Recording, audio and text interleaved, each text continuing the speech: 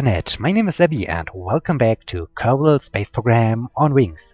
Henler has almost finished his marathon and he is now returning back to his Laythe lander and while he was running he had all the time this great view out to Vall and yeah, this is pretty convenient because now after he returned back to space, he will uh, rendezvous with his crewmate and then they will fly out to Vall where they will stay the rest of the Jool expedition until the return window has opened up so that they are able to fly back home to Kerbin. And yeah, so uh, this was a nice foreshadowing for him. And now he's arriving back home to his, or back to his Laythe lander, and I like this piece of technology, it's just amazing. And well, let me just give you a short overview over um, about this, the spacecraft. At first, we have mounted the heavy science parts under the fuel tank, so just after takeoff we will ditch them to lose a little bit of weight then, of course, we will lose, uh, use this Rapier engine in air breathing mode, and that's why we have these two air intakes and these two outer fuel tanks. And as soon as we reach a certain altitude and the engine switches over to uh, rocket mode, we will use the last drops of fuel out of these outer fuel tanks, and then we will ditch these outer fuel tanks and also the um, the air intakes and then we are losing some more weight. And finally when the inner fuel tank is running out of fuel we will switch over and ditch the Rapier engine so that we can use only the small fuel tank mounted directly under our lander can. And we can use these two uh, Rockomax 2477 engines and finalize our orbit insertion. And do all the maneuvers to have a rendezvous with um, his crewmate. Okay, at first, as a safety measure, he has to repack all the chutes just in the case that something uh, goes wrong, and he has to uh, descend back home or back to the surface of Laythe. Okay, let me repack them. Okay, very good. Now he can return and he can at first store the surface sample from Laythe Oceans and also the EVA report from um, Laythe Oceans. Now he can retract two of the solar panels and then he has almost finished his uh, takeoff preparations. Now he needs to enable his fuel tanks. And the last fuel tank on top. Now let's make sure that the that the staging is correct. At first we will use the uh, Rapier engine in air breathing mode, well done. Then we will ditch the science parts, also good. Then we will ditch the outer fuel tanks, also nice. Finally, we will ditch the Rapier engine. Okay, this is everything, uh, everything is in order. The sun has risen behind Jool. This is also cool. Now let's have a short look. We are down here, the interplanetary stage is over there. So I think we should wait a little bit until the stage is maybe around here, because I'm not quite sure how long it will take to uh, achieve an orbit again with this method. And in this case, yeah, let me make sure that I'm arriving at the right uh, moment, or maybe we are a little bit ahead or a little bit behind this um, spacecraft, so then we have to do some orbital maneuvers to rendezvous with it. But yeah, uh, I hope this is then the right way. Let me at first bring the thing a little bit closer. And... Okay, let's stop here. And yes, after after liftoff we will turn towards Jool, so we will fly eastwards. And then I hope this will be a successful flight back to space. And I think... Okay, let me now retract the ladder. I will enable SAS and I will also enable RCS because we are standing here on a slope and I think I can use the help of the RCS to make sure that my spacecraft is not flipping over. Okay, and now let me enable the engine. And okay, now at the basically the moment of truth, let's throttle up and let's start working against the gravity of our slope. Come on, come on. Ooh. Okay, yes, good, good, good. Okay, very good. So now let's aim for the 90 degree mark. Okay, this was close. This was an interesting liftoff. So we can now disable RCS, we do not need it anymore. We can retract our landing gear And Henler. Henler is at least flying at least. This is a success, this is very good. Okay, let's turn around a little bit more to the 90 degree mark because I like to accelerate a little bit more. And what is his current altitude? He has already achieved an altitude of uh, 2000 meters, so now it's the time to ditch the science parts. They are falling down and we are already 4 kilometers away. So, science parts are gone and this means we lost a little bit of weight. We should be able now to accelerate a little bit faster. And well, goodbye science parts, and we can now see again. This was the dune we climbed up at first, and then Henler uh, went down, or run down, all the way down here to the shoreline, and yeah, here he uh, did the surface sample at the shoreline, and yeah, this is pretty cool and this is his achievement and this is this is really amazing. He did an amazing job. Okay. Now I like to fly a little bit. I don't want to have such a uh, strong angle of attack because I like to speed up a little bit while I'm uh, still raising my altitude and while I'm still climbing up and I need to have a view as you can see down here at uh, my outer fuel tanks so that I ditch them in the right moment. And okay we are still gaining altitude. We are still speeding up and this is pretty important because we need the speed.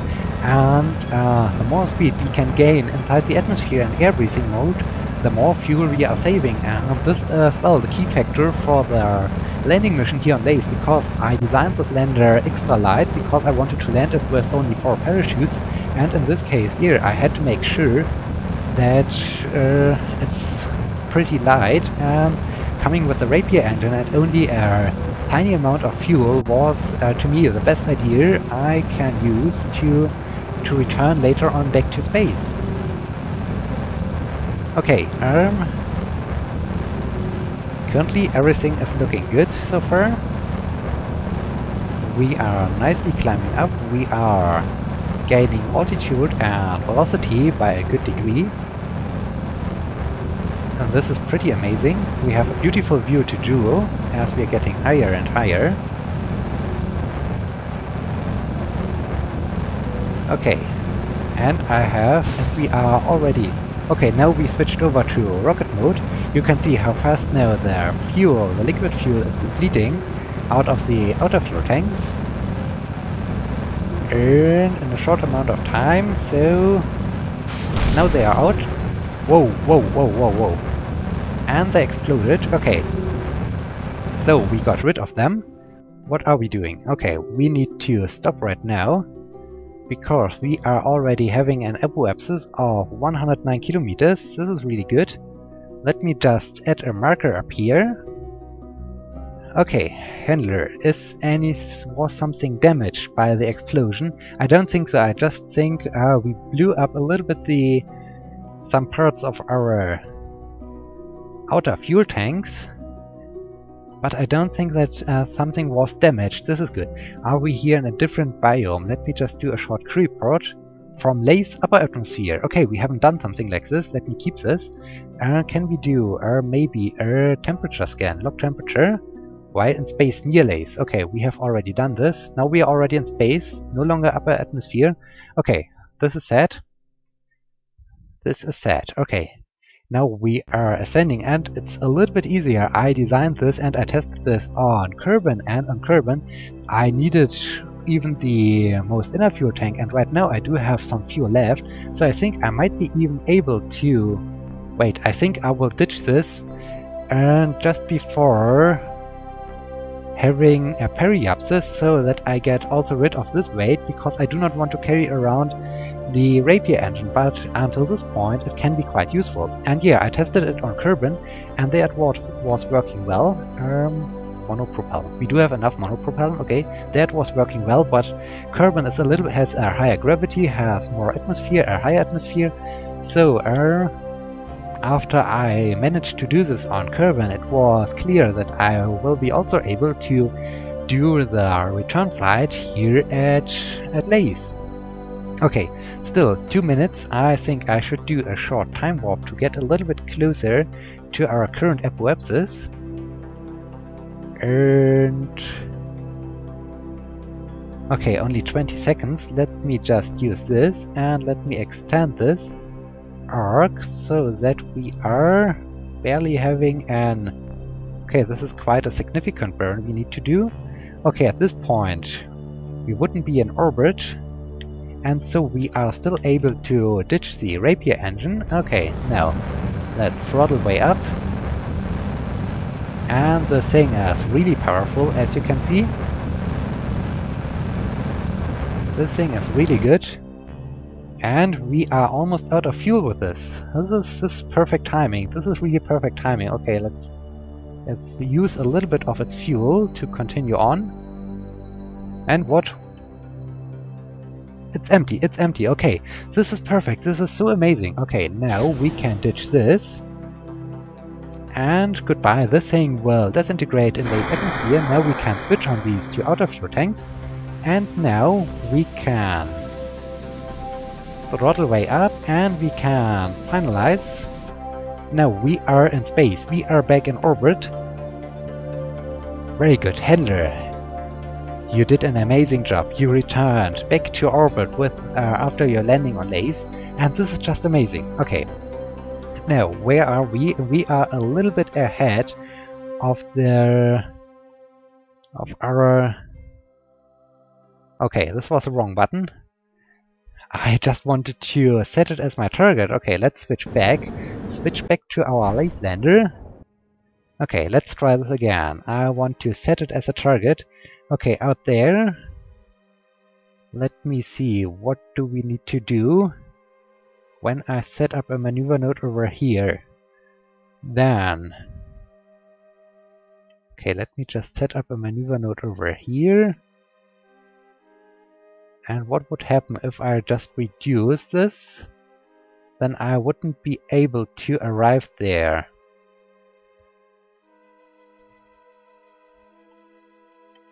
Okay, I think at the periapsis we will do a tiny burn to raise just a little bit our apoapsis, like this, very good.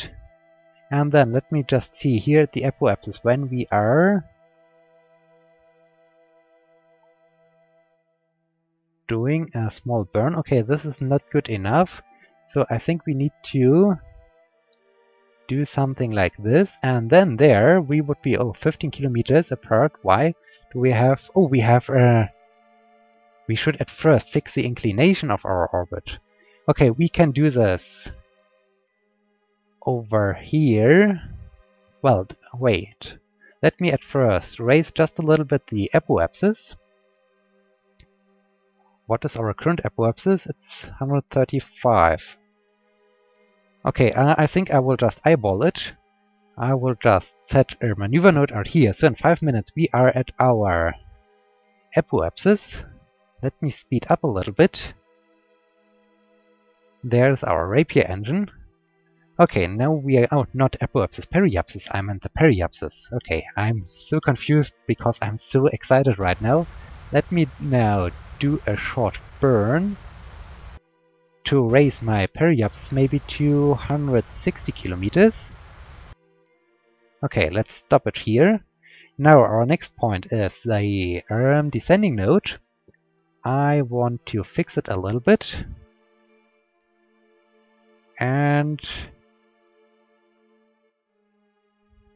Okay, now we have no inclination anymore. This is also good.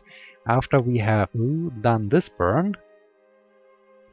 And then we can start thinking about preparing the rendezvous. Henler Kerman is doing an amazing job. He is really a well-experienced Kerbonaut. Let me now do the burn. And the thing is really light and it, uh, it reminds me a little bit at my um, Evelander. Yes, the Evelander was constructed a little bit in a similar fashion. And now look at this, we have already or almost a rendezvous. So when I'm doing here, what do I need to do? I just need to speed up a little bit. No, can I? How can I? At which point, when I'm doing here a burn, 1.6 kilometers, do I need to 2.2? So let me just reduce it, 1.9, 8.9, 4.3, okay, I think 2.8, 1.3, okay, 1.3 in 6 minutes. In 6 minutes we can do our next burn and then we are getting pretty close already to our driving section and this is amazing that we can return already there. Now let me just do the quick burn. Unfortunately we are currently in the shadow of Laythe. And okay, finished. Very nice. So, uh, wow, only 300 meters away when we are arriving up there. This is cool. Let me just set up a maneuver node. Okay, very good. Very good Henler. Now we can do a longer time warp so that we are able to arrive at our target. And sunrise again. Pretty cool. Jool rise again. Now we are getting closer. Only 5 minutes to go. 2 minutes. 1 minute. Okay, only 1 minute to go. Let me close now arm the maneuver node and we are only 4.4 kilometers away. This is cool. Let me already start a little bit reducing our velocity and by doing so I can even align a little bit more our trajectory and now we do have a separation of 100 meters. This is pretty cool. We just do a second burn over here and now we are still at 100 meters. Okay, now we can do a little bit of a time warp to get a little bit closer. Okay, so now we need to do a burn to slow us down. I like to slow us down our approach velocity currently to 10 meters per second because we are already pretty close. Okay, and let's see, our docking port is down there. We are arriving at a good position. This is really amazing. This makes the docking pretty easy. This is great. Okay, we are only 72 meters away, 60 meters away. 50 meters. 40 meters. Henler, you are doing an amazing job and... Okay, now I think I should switch to RCS because now the spacecraft is pretty light and so it's pretty easy to do too much of a maneuver or uh, to change too much our trajectory by just a simple burn. Okay, let me disable RCS. Let me at first try to kill all of our movement. I hope I'm able to do so. Okay, let's do a very gently. Okay, well done. Now, at first, we need to rotate our spacecraft a little bit around so that we are aligning ourselves with the docking port. And now, let's fly down there.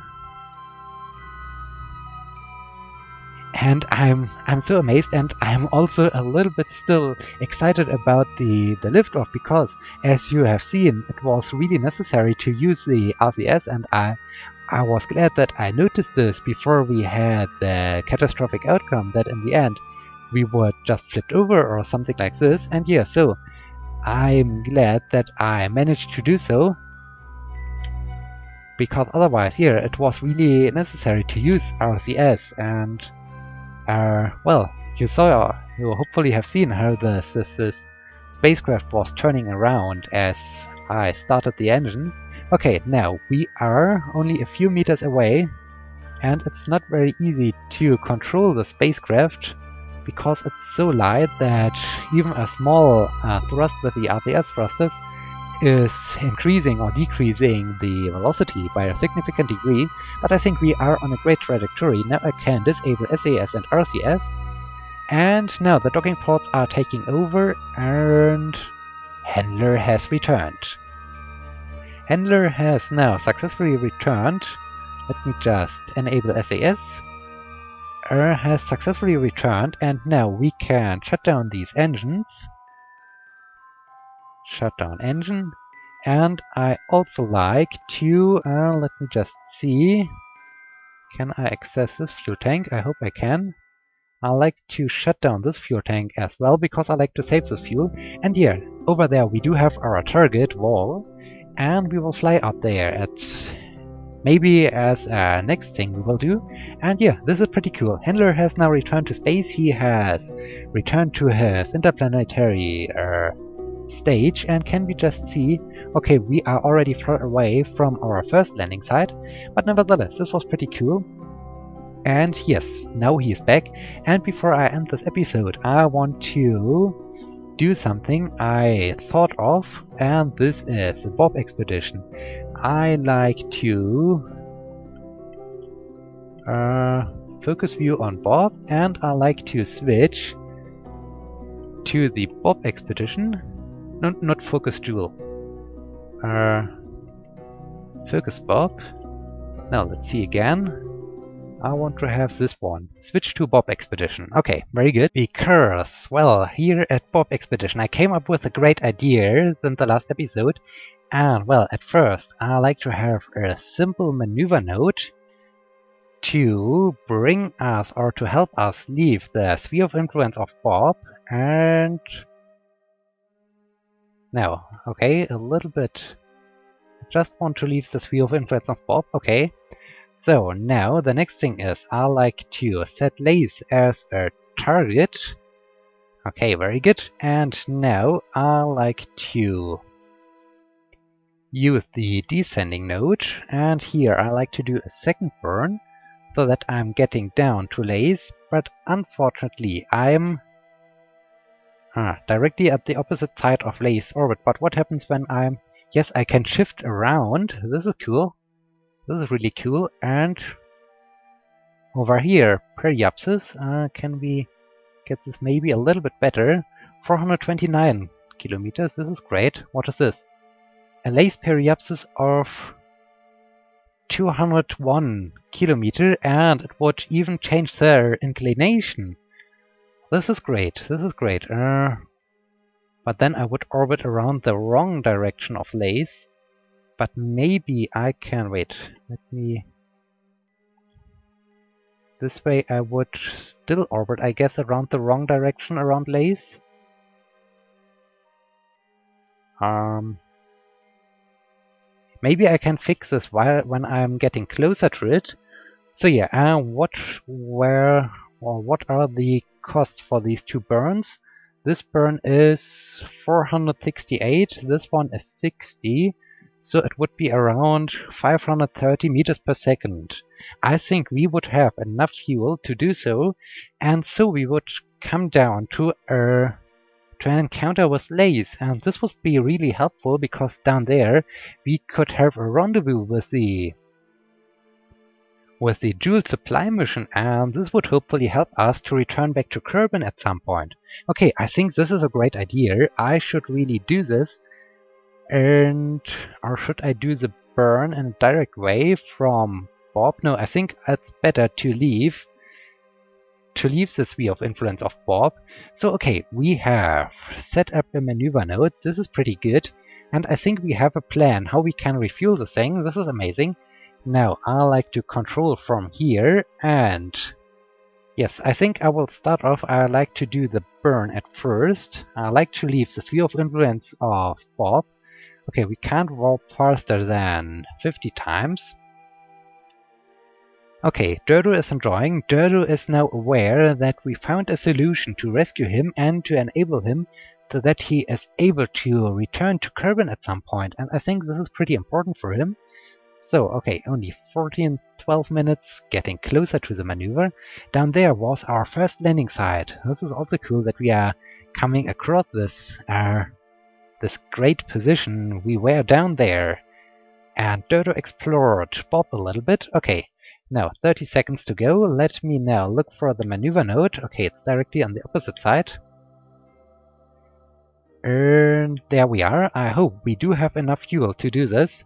So let's keep fingers crossed that I'm able to do what I like to do and yeah I think it should be possible I think it should be possible. Okay, now we are doing our burn and stop right now. And well, let's close this maneuver node and Yes, we are leaving Bop. We are leaving Bop in 6 hours and 28 minutes and then we will start orbiting around Jool on our own and at the descending node we will set up a new maneuver node but I will do this after I left the sphere of influence of Bop because right now uh, well, there might be a small change. Okay, Dodo is a little bit sad that he is now about to leave the small moon of Jool, but uh, yeah, at some point he had to do this, and okay, so uh, Dodo is leaving Bop, and we are at the end of today's episode. So I hope you like uh, what I did, and I hope you will be joining me in the next episode. In this case, until next time, my name is Abby. See you!